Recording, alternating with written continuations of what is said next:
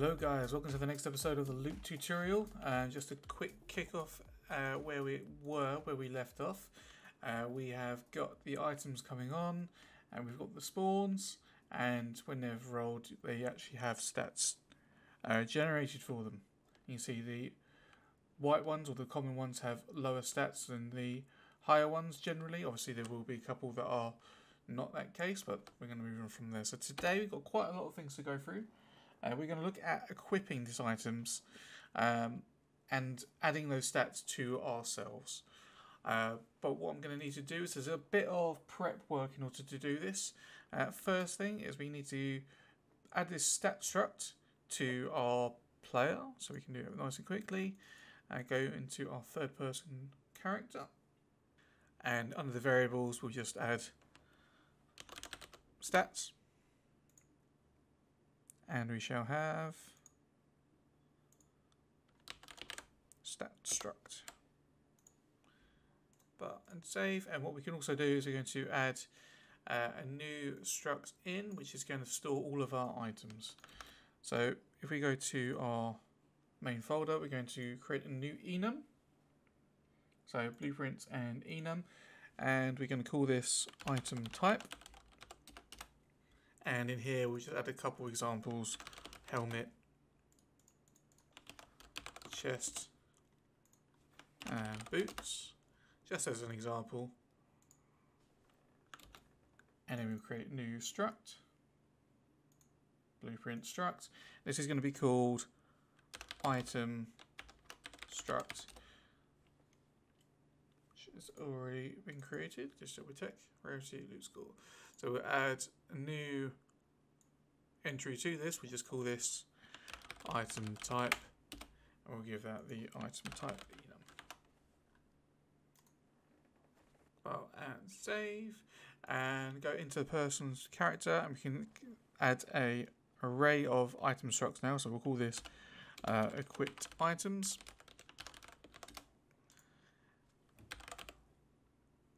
Uh, item struct. And we can have an array.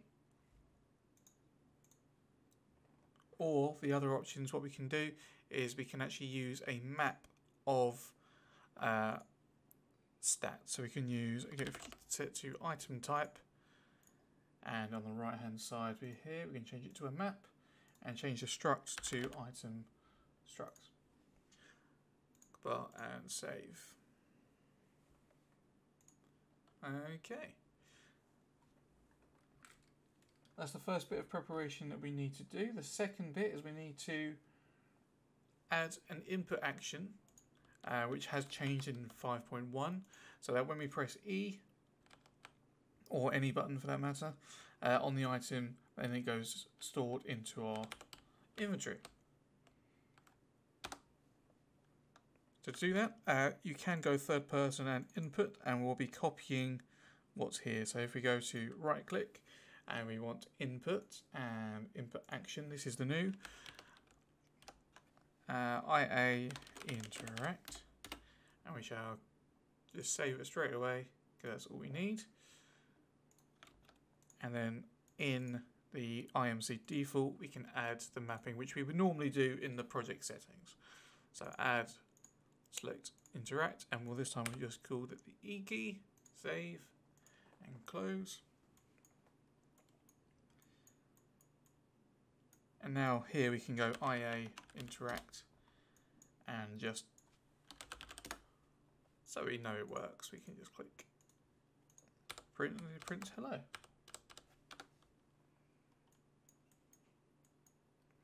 So at the moment we have got the event tick trace. So we can get a reference to this loot item and we can also clear that reference when stopping stop looking at an item. So now if we go over and we hover over anything, not that you're going to see anything, but this will be stored as loot item BP. So we can go control and drag for loot item BP and if valid or is valid and use the question mark so you have the execute node. Otherwise, you use uh, a boolean and then you have to put a branching anyway to get the same thing. We can get item details and break them. And then this is where we can sort out where it goes in our equipped items. So if we equip and change,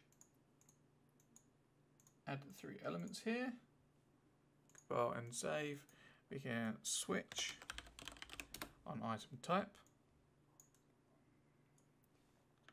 And we can control and drag the equipped items out and we want to add in map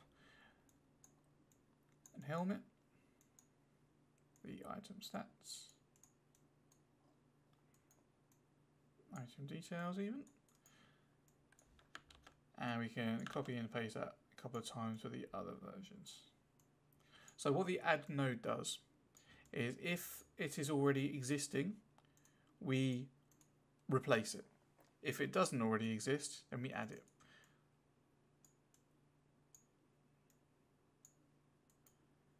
But and save. And what we can then do at the end of this, so we can add a sequence here, otherwise we have to do multiple lines from the back here. We can create a new function, we're just going to call it refresh uh, stats. And we want to get our stats, and we want to set everything to zero again. So we want to set members everything to zero.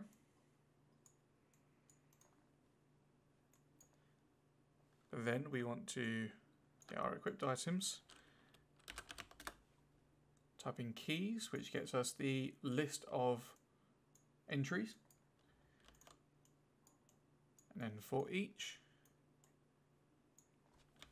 we want to find in that same map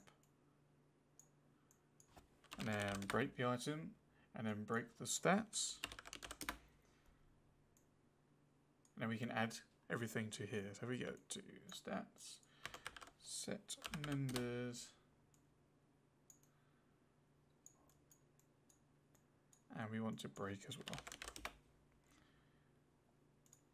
So attack, defense, and speed. So attack plus, defense plus, and speed plus.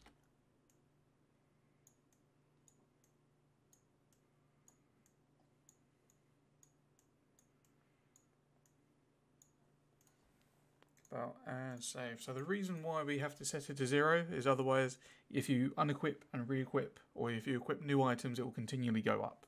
It won't ever go back down to zero. It won't ever split back down. Uh, refresh stats. And what we'll do is we shall just have a print string as well. So print text, just so we can get the format text. I'm just going to have the three numbers.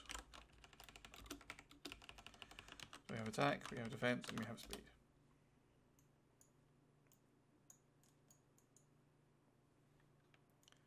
Get our stats and break them apart. Attack, defense, and speed.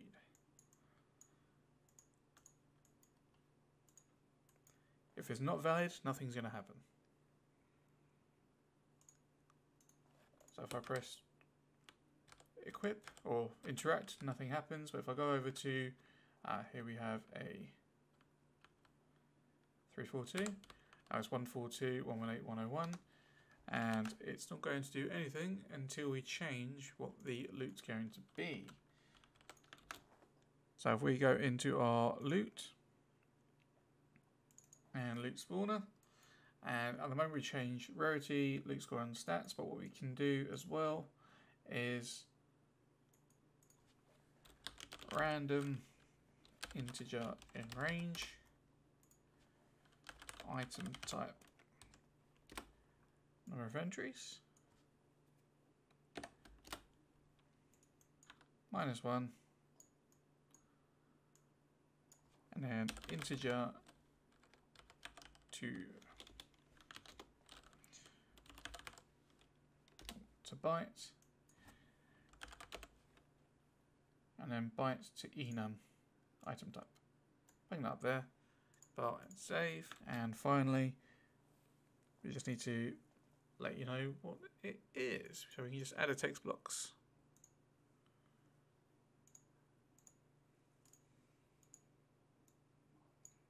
Just above everything, we can even put it to the right so we can see it. And we'll set the binding to be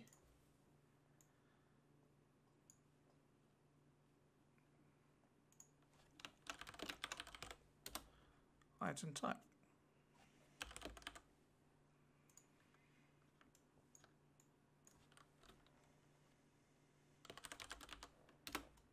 Make sure you choose enum to string, not byte to string. Otherwise, you get the number rather than the actual name.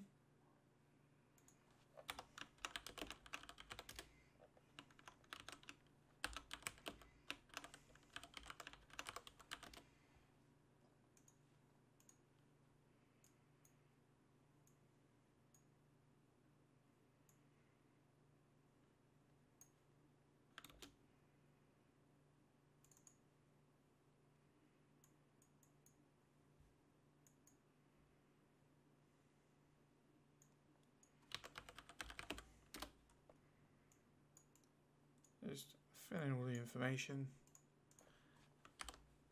So now, in something spawns, we have boots for 83. And I have a helmet for 55. And boots again. So we can equip them. It doesn't remove them from the environment at the moment, but obviously that's fairly simple. You just destroy the actors now that you have a reference for it in text.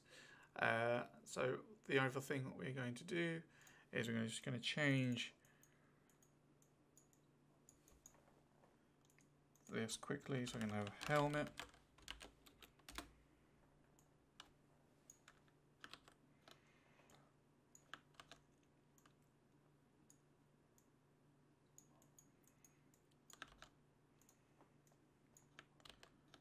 Chest and boots.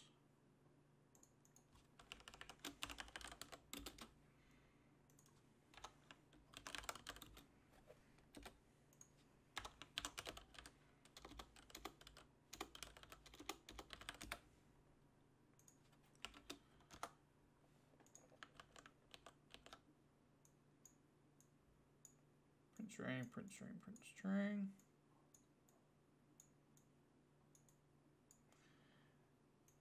we're going to remove those. Uh, equipped items. Uh, find. So we want the helmet. Chest and boots. And we break that to get the arm stats.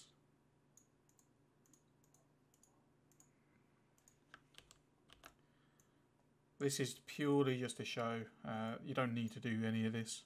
This is purely just to show that we're changing our items. Uh, so at the moment we have nothing.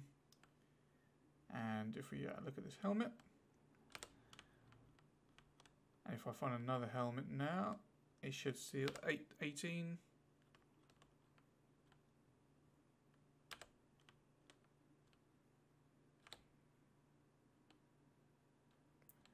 I'll find some boots.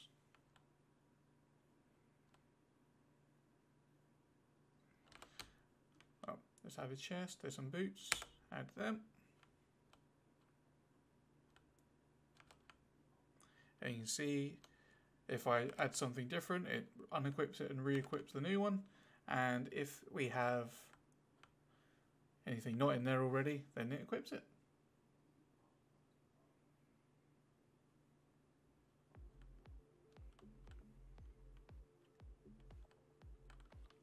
There you go, guys. That's uh, the next episode. A nice quick one. Uh, next one, we're just going to add a couple of quick bits, but that's all I'm really going to be doing for this series. Uh, it was only intended to be a quick series. Uh, hope you enjoyed it. Uh, and uh, the next series will be coming on very soon. So thank you very much. And I shall see you next time.